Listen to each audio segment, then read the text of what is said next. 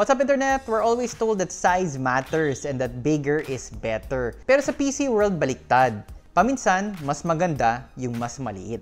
In fact, the trend now is towards smaller and smaller builds. The smallest you can get in a mainstream build is the ITX format, but if you don't want to go full ITX because that can get quite expensive, then you can choose an mATX design which is smaller than the standard ATX format. An example of a good mATX case would be Deepcool's Matrexx 40, which Deepcool sent to us for review but had no say in what we had to say about it. This case has tremendous cooling potential as both the top and front are mesh, and the bottom of the case has a removable mesh filter as well. It can fit 6 120mm fans or 4 140mm fans. So even though you have a smaller form factor, you don't need to be worried about cooling potential. There's a lot of space in this case in general.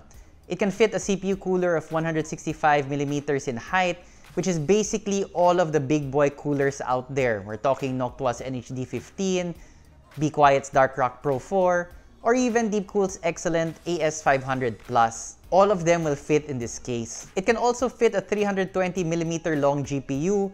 Some of the newer GPUs are a bit longer than this, but the majority of GPUs will fit within that 320mm of space.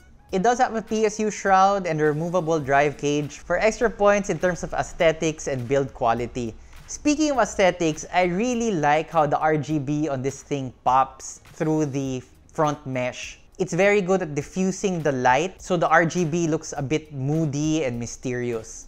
One thing I do miss though is that the side panel is the standard side panel, unlike the Deepcool Macube 110 which we've also tried out, which has a magnetic latch system.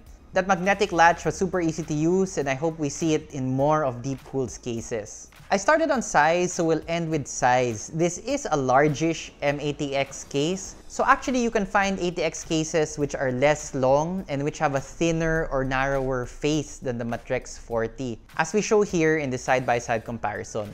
Definitely though, the Matrexx 40 is shorter than most, if not all, ATX cases. The Matrex 40 is a squat case, low to the ground and solid easy to build in. And as with most Deepcool items that we've tried, very good value for its price. So if you're looking for a relatively inexpensive M80X case with excellent cooling potential, you could do a lot worse than the Matrex 40. Thanks for watching.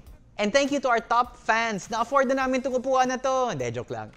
Thank you to Leah Magnaye, Ian Meru, Richard Onkinko, ITX Addict, John Ruben Ocha, Christian Espinosa, and Rafael James. Thank you for supporting the channel.